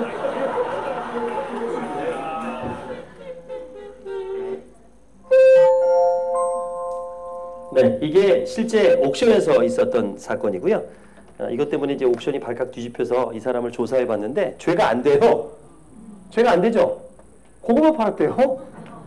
고객들은 고구마 잘 먹었다고 그러고 댓글도 고객들이 쓴 거예요. 그래서 이제 넘어갔는데 이제 광고학회에서는 이걸 좀 한번 세미나를 해봤어요. 도대체 왜 샀을까 사람들은 이해가 안 된다. 첫 번째 근데 어쨌든 갈등을 일으켰고 두 번째 제품은 마음에 들었다. 넘어갔다. 그래서 만약에 이게 막 10만 원이고 막 고구마가 썩었고 그러면 이제 사기가 되는데 제품 자체는 괜찮았다 해서 이제 여기서 배워야 될 부분은 그만큼 사람들은 단순하고 궁금함을 못 참는다를 배운 거예요. 어, 결국 어, 이게 좀막 섞였는데 갈등을 일으키라는 거죠. 갈등. 궁금하게 하고 갈등을 일으키라는 거예요. 사람들은 갈등을 좋아할까요? 싫어할까요? 그 드라마 왜 봐요? 드라마 왜 봐요? 예, 남의 얘기라? 갈등이 해소되니까 보시는 거잖아요. 어, 그러면 여러분이 갈등을 일으키면 얼마나 어, 사고 싶은지 지금부터 제가 시범을 좀 보일게요. 어, 누군가를 설득할 때는 절대 주장하지 마시고요. 질문을 하세요. 스스로 대답하고 어, 부정하고 납득할 때까지 그러니까 질문을 하세요. 그러면 해결이 됩니다. 어, 제가 지금 커피 믹스를 하나 갖고 왔는데요. 후디스에서 나온 노블 커피라는 커피 믹스예요. 뭐 이 커피 믹스 얼마나 비싸겠습니까? 그냥 이렇게 줘봐야 안 먹어요. 만약에 막 먹어봐 그러면 강제로 먹으면 먹겠죠. 다시는 안 먹겠죠. 한번 먹고. 근데 제 설명을 듣고 마시잖아요. 막 사고 싶을 거예요. 집에 가서 막 인터넷 뒤질 거예요. 살려고. 그만큼 설명이 중요합니다. 제가 한번 해볼게요. 여러분 이제 궁금하게 만들고 납득을 시킬게요. 자, 질문을 하라 그랬잖아요. 그러니까 첫째 번째 질문은요. 무조건 가벼운 질문 하셔야 됩니다. 어려운 질문 하면 절대 안 됩니다. 아주 가벼운 질문. 무조건 대답하는 질문. 속으로 대답하는 질문. 이런 겁니다. 커피 좋아하세요? 대답하잖아요. 이런 거예요. 그러면 제가 좋은 정보 하나 드립니다. 커피 마실 때 바리스타가 커피숍에서 커피를 주잖아요. 절대 뚜껑 열고 20초 후에 드셔야 됩니다. 들어보신 분 있을 거예요. 커피숍에서 주는 커피 바로 마시지 말라는 얘기 들어보신 적 있을 거예요. 이거 제가 지어낸 얘기가 아닙니다. 20초 정도 뭘 날려보내고 드셔야 돼요. 뭘까요? 발암물질입니다. 발암물질입니다. 자, 이게 이 인터넷 주제음 나옵니다. 스타벅스에 얼마 전에 경고문을 붙이라는 LA 판 LA 법정에서 판결을 내렸습니다. 니네 아, 매장에다가 암 경고 문구를 붙이라고. 왜 그러냐? 이 다크로스팅 커피는요, 세게 볶는 걸 다크로스팅이라 그래요. 원두가 신선하지 않거나 그럴 때는 세게 볶아야 누린내가 나니까 세게 태운다는 얘기죠? 뭐가 생겨요? 무조건 생겨요. 뭔가 태우면 그 안에 생깁니다. 아, 그래서 날려보내라는 겁니다. 그래서 어, 그걸 압축 추출을 한 거니까. 근데 100% 날아가요? 아니겠죠. 근데 걱정하지 마세요. 이 커피는 그걸 알았어요. 그래서 신선한 원두만 예가체프 코케라는 에디오피아의 신선한 원두만 사용을 했고요. 거기에 dark roasting이 아닌 medium roasting 미만으로 roasting을 했습니다. 이 후디스가 분유 만드는 회사잖아요. 그걸 알고 조심한 겁니다. 근데 다행인 건 커피 원두 안에 항산화 물질이 있다는 거지. 암을 예방할 수 있는 항산화 물질이 있다는 거지. 클로로겐산이라고 들어보셨을 거예요. 녹차에는 카테킨, 녹차에는 카테킨, 커피 생두에는 클로로겐산. 이걸, 이걸 폴리페놀 계열이라 그래요. 이게 어마무지 들어있는데 얼마나 많이 들어있냐면 아사히 베리의 20배입니다. 20배. 그래서 커피 가지고 건강식품을 만들어요. 근데 얘가 세게 볶잖아요. 다 날아가요. 다행히 이 커피는요. 생두에 있는 폴리페놀을 추출을 해. 그 다음에 나중에 집어넣어요. 180mg, 160mg 들어있어요. 160mg. 이 정도면 하루에 두 잔만 드시면 끝나요. 항산화 물질은 끝나는 겁니다. 커피 두 잔만 드시면. 거기에 크림 안 들었습니다. 원 A 등급의 우유, 생우유가 들어갔고 그 다음에 코코넛 오일에 야 설탕마저도 자일리오스라 그래서 CJ에서 제일 비싼 설탕이 있어요. 제일 비싸요. 이게 단맛은 똑같은데 흡수가 덜 되는 고급 설탕이거든요. 그 설탕을 넣었어요. 게 아니다. 드시고 싶죠? 빨리 손 드세요. 드릴게요. 어, 예, 저 빨리 드셨어요. 예, 한 봉지 드리겠습니다. 박수 주세요. 예.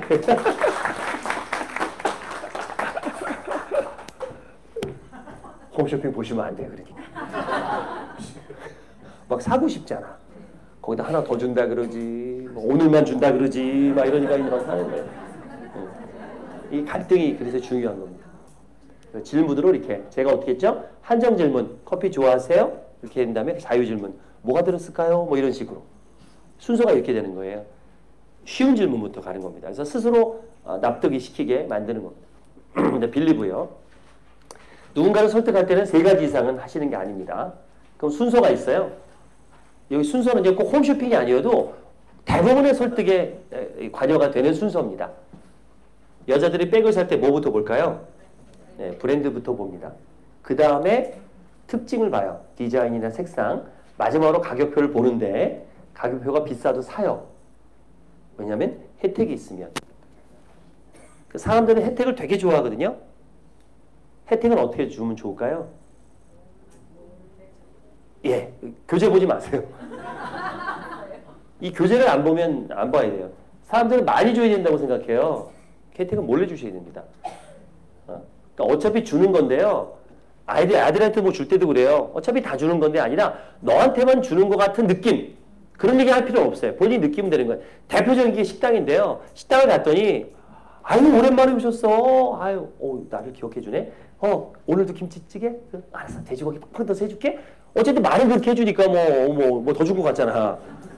기분 좋죠? 근데 딱 다 먹 딱 나와서 먹기 시작했는데 좀 있다가 사장님이 이렇게 와 막 눈치를 봐. 그러더니 조용히 오더니 뭘 하나 툭 던져주고 가. 계란 후라이 하나를. 어, 뭐야 이거? 기분 좋죠? 이거 더 달라 그래요? 다른 반찬은 다 달라 그래도 이건 더 달라고 안 해요. 근데 자세히 보니까 딴 테이블 가서도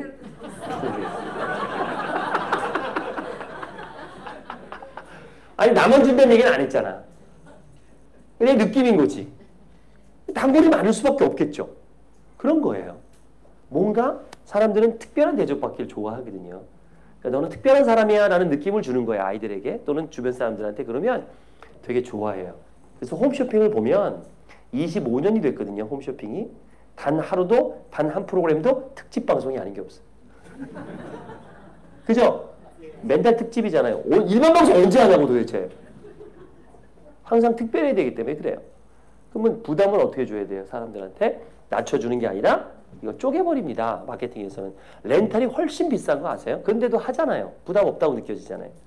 할부, 렌탈 다 이자가 붙어 있는데.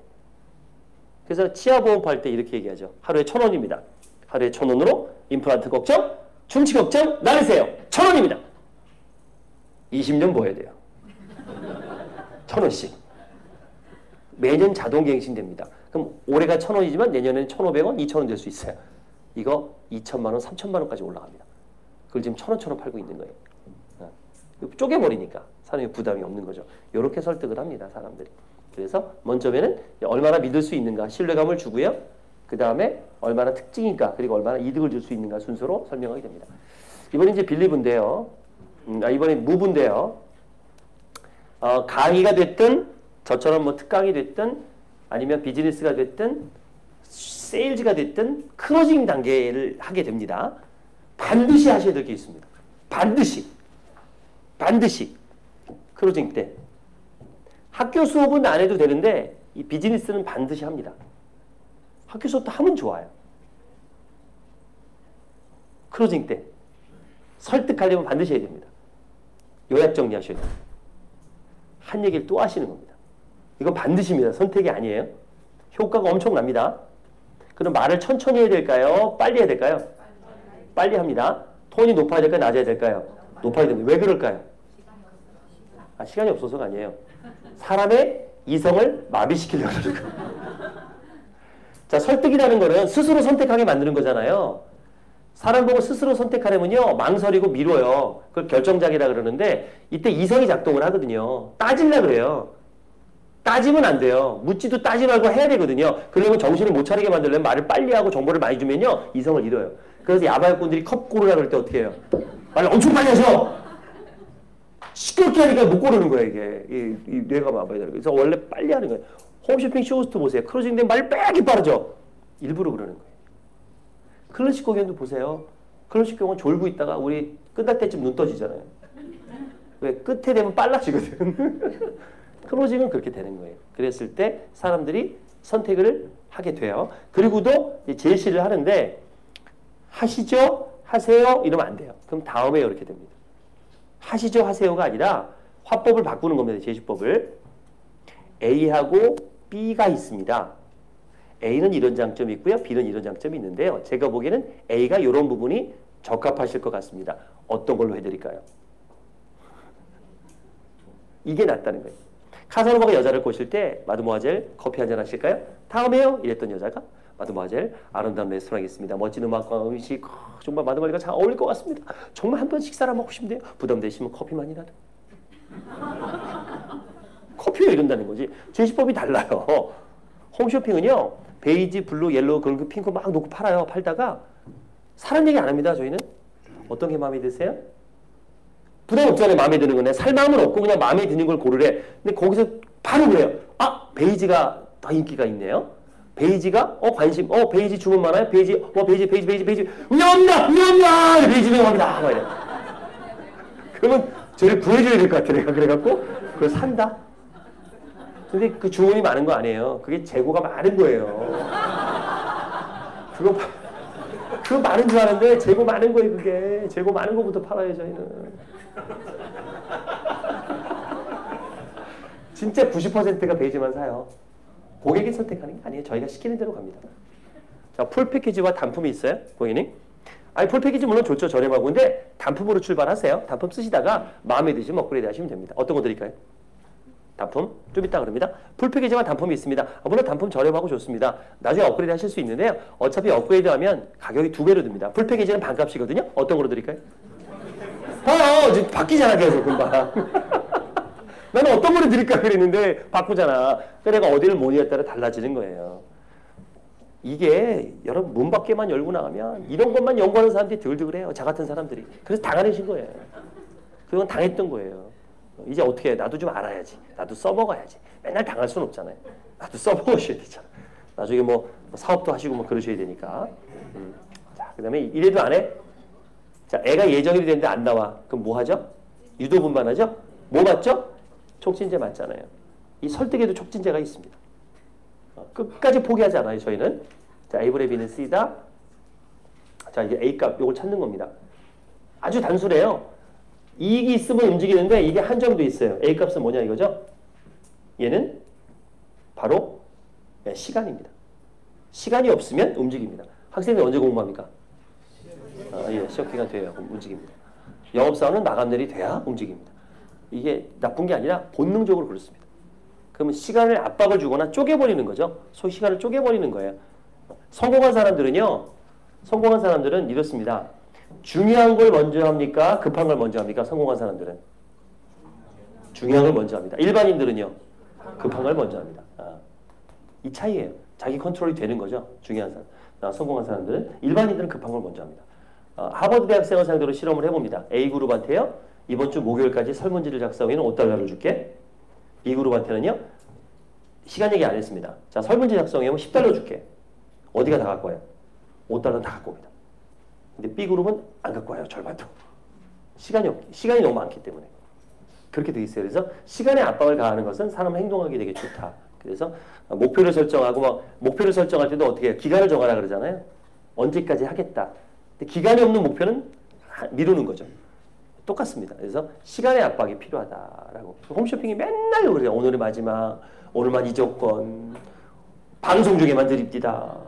여기에 넘어, 넘어가는 거예요. 그래서 항상 누구 설득할 때는 시간을 정해주세요. 자, 오픈 3단계에서 빌리브 이렇게 배웠고요. 그리고 자, 이렇게 정리, 제시, 촉진 배웠습니다. 아, 그러면 이게 어떻게 어, 방송에서 써먹었는지 제가 시범을 좀 보일게요. 김한선 씨 시집 보내는 프로그램입니다.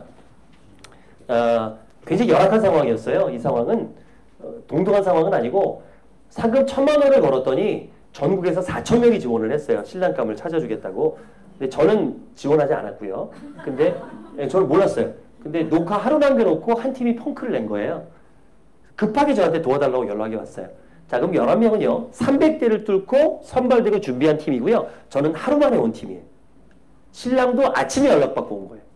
상태가 안 좋아요. 상황이 안 좋은 거죠. 상품으로 얘기하면 좀 처지는 상품을 제가 팔아야 되는 거예요. 그 상황에서 어떻게 할 거냐 이거예요. 열악한 상황이에요. 근데 저는 프로잖아요. 프로는 어려운 환경에서 설득한 사람이 프로지 남들 다 잘하는 건 프로 아니잖아요. 예를 들면 편의점 알바는 누구나 할 수 있죠. 전 세계에서 편의점 알바는 누구나 최저임금을 받습니다. 근데 보험 영업사원이나 어, 영업사원들은 최고임금을 받는 이유가 어려운 걸 하니까. 그러니까 누구나 다 하는 게 아니라 어려운 걸 잘하는 사람이 잘하는 거잖아요. 전 여기 출연을 하게 됩니다. 그리고 첫 번째 미션이 뭐였냐면 첫인상 얘기를 하래요. 두 명을 뽑겠대요. 그러니까 신랑들은 뒤돌아 앉혀놓고 제가 설득을 하는 거예요. 근데 얘가 외모가 제일 별로예요. 얘가 제일 별로였어요. 어떻게 하시겠습니까? 외모를 칭찬하라는데 외모가 제일 별로예요. 그때 저는 당황하지 않습니다. 늘 생각합니다. 완벽한 건 없다. 항상 상품을 잡으면요. 내 여건에서, 내 상황에서 나만이 갖고 있는 특징, 이 상품만 갖고 있는 특징 있죠? 반드시 있어요. 내가, 내, 내가 잘하는 장점이 있다니까. 남들보다 뛰어난 게 무조건 하나라도 있어. 그죠? 그 중요한 건가요? 중요하지 않은 건가요? 중요한 거죠? 저는 그것만 얘기해요. 그럼 돼요. 그죠? 근데 내가 없는 게 있어요. 고객이 물어봅니다. 아니, 그 상품에는 이 기능이 없어요? 그 상품에 이런 효능이 없네요? 없어요. 근데 그걸 대고서 없는데요? 하면 안 돼요. 그죠? 어, 맞습니다. 없습니다. 대단하시네요. 그거 찾아내셨네요. 고객님 꼼꼼하십니다. 중요하지 않습니다. 필요 없습니다. 저희는 일부러 안 넣습니다. 이러면 되는 거예요. 맞죠? 모든 기능을 다는 상품은 없습니다.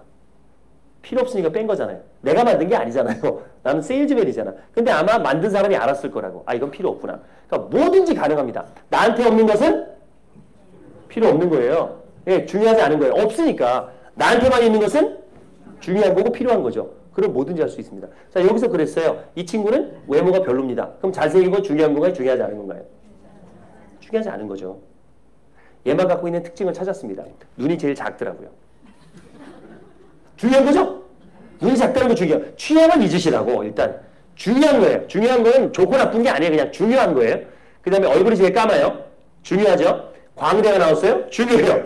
그래서 12명 중에 제일 특징을 찾아놨어요. 그래서 그걸 얘기합니다. 야, 그걸 얘기했더니 야 이건 어떤 얼굴이야? 인터넷 찾았더니 딱 나오더라고. 남성이 많으면 이렇게 돼요. 추성훈이가 그런 류의 얼굴이에요. 물론 추성훈 닮진 않았어. 근데 추성훈 자상하잖아요. 능력 있고. 오케이. 자, 출전을 합니다. 근데 작가가 오더니 또 부탁을 하는 거예요. 교수님, 이 방에 도와주시는 거 한 번만 도와주세요. 뭐요? 분위기 좀 띄워주세요. 1번으로 출전하세요. 이러는 거예요. 1번으로. 되게 열악하잖아요. 제일 안 좋은 거 주더니 1번으로 나가래요. 오케이, 알았어요. 나갔습니다. 제가 30초 안에 설득을 합니다. 그 상황을 보시겠습니다. 외모입니다. 외모. 외모 관련되고 종례 시작합니다. 스타트. 네, 오늘은 절대로 충동구매 유발하지 않겠습니다. 181cm, 떡 벌어진 어깨, 70kg 날씬한 몸매인데요. 어, 이분은 잘생긴 얼굴은 아닙니다. 근데 디자인이 좋은 상품을 사면요, 더 예쁜 디자인하면 바꾸고 싶어요. 하지만 이 소재가 좋고 정말 만족하면 AS된 디자인을 오래 쓸 수 있겠죠. 이 상품 확실합니다. 제가 진실되게 말씀드리는데요. 타스코스테론이 풍부한 얼굴을 갖고 있습니다. 타스코스테론이 풍부한 얼굴을 갖고 있습니다. 타스코스테론은 진지하고 열정을 갖고 있거든요. 그런 걸 보고 싶으세요? 눌러주세요. 눌러주세요. 눌렀어요. 눌렀어요. 두 명 뽑는데 눌렀어요. 두 명을 선택했는데 벌써 눌렀어. 여기 그럼 11명 어떻게 하라고? 이러면 뒷돈지를 보지 뭐. 왜 이런 것부터 눌렀죠? 엔트에? 제가 저기 좀 충동 구매할 수 있는 목소리를 갖고 있어요. 그렇지 안 그러면 안될것 같은데. 여기 12명 중에 제일 외모가 떨어집니다.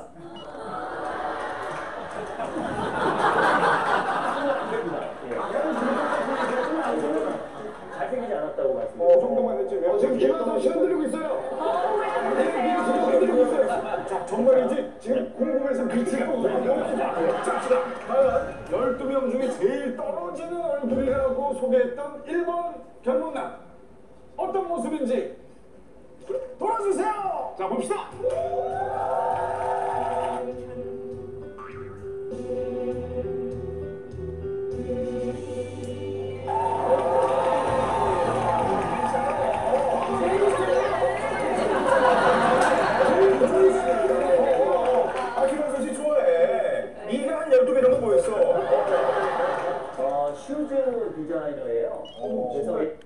네, shoes 디자이너인데 어, 무슨 shoes를 디자인하냐면 어, 슬리퍼를 디자인하는 친구. 아 슬리퍼 슬리퍼.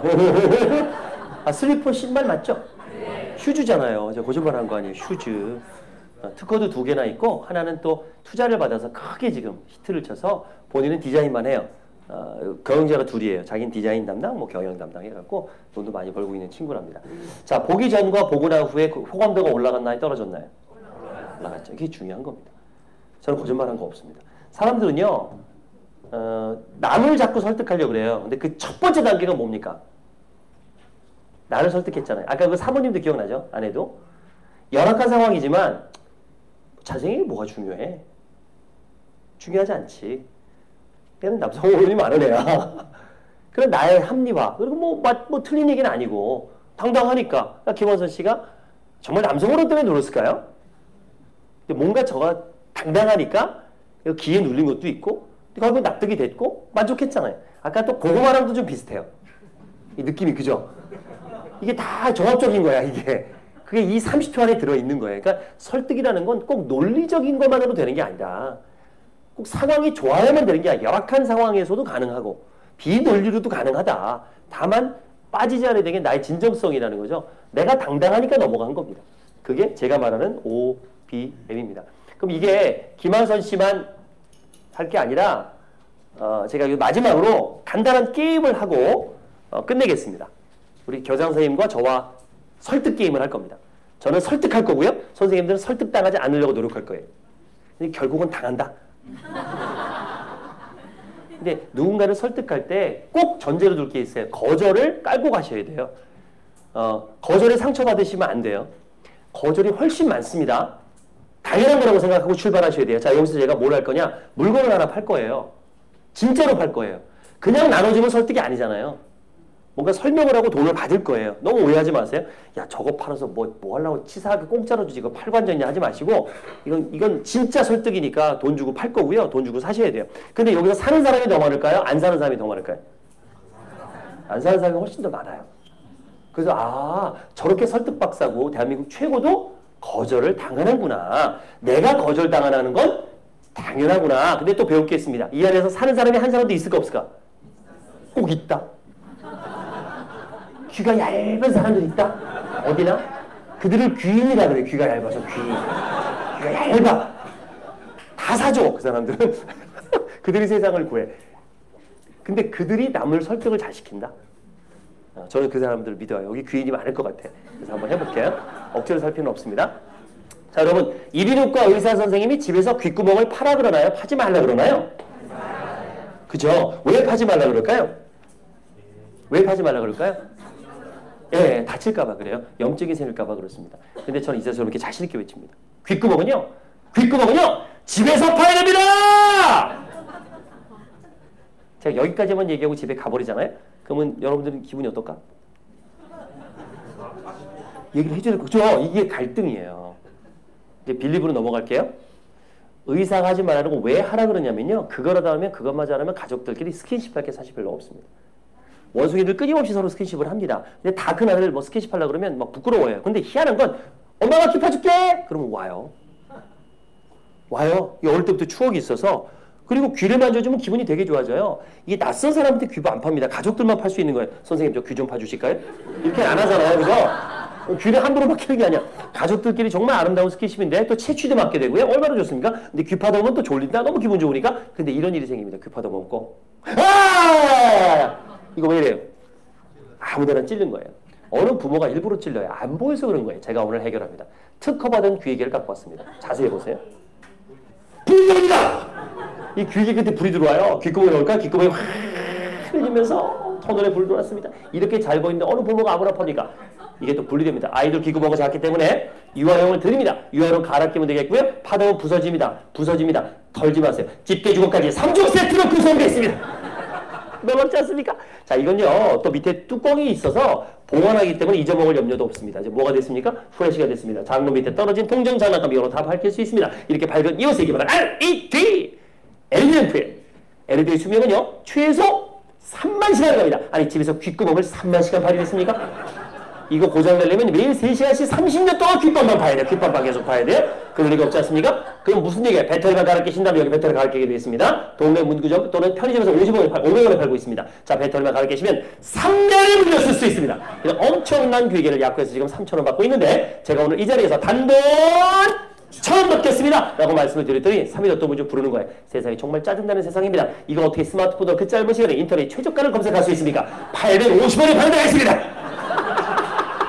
온 세상에 있더라고. 네, 그랬어요. 거기서 사세요. 왜? 배송비가 2,000원이에요! 약국은 3,000원, 인터넷 쇼핑몰은 배송비까지 3,450원입니다. 저는 이제 1,000원을 받겠고요. 지금 예 선생님들이 아까 보니까 99분이라 그러는데 제가 인원수를 착각해서 오늘 20세트밖에 못 갖고 왔습니다. 지금부터 하나, 둘, 셋 하면 손을 드는 분 드리는데 20분만 드리는데 1,000원짜리가 없어요. 괜찮습니다. 제가 계좌번호 보여드릴 겁니다. 자, 입금하시면 돼요. 먼저 물건 가져가시고 1,000원짜리만 입금해 주시면 되겠습니다. 그 정도는 뭐 믿고 드리는 거죠. 아, 만약에 오늘 손을 늦게 들어서 구매를 못 하신다. 제가 장담합니다. 집에 돌아가서 아마 평생 귓밥할 때마다 제 생각납니다.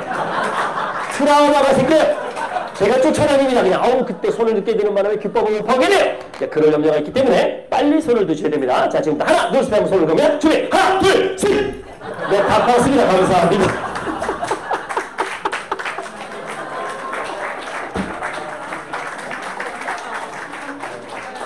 잘 팔죠?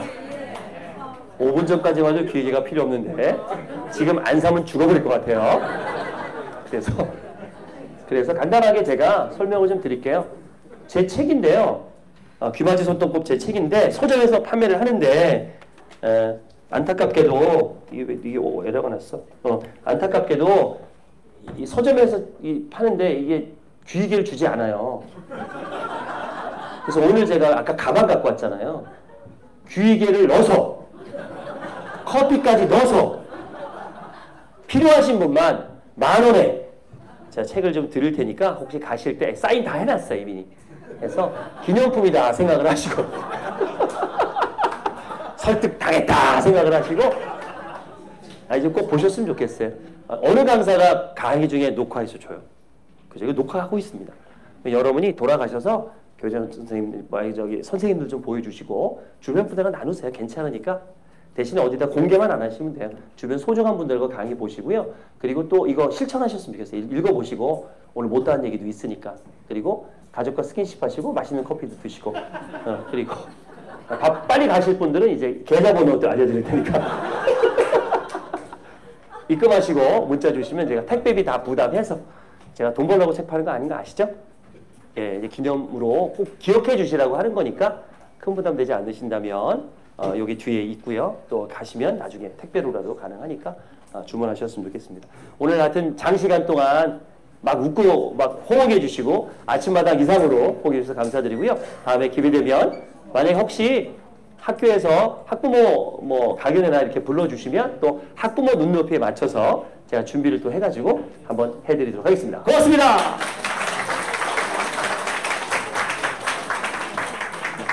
감사합니다. 네. 아. 주로 설득, 소통이라는 키워드를 가지고 아주 시종일관 유쾌한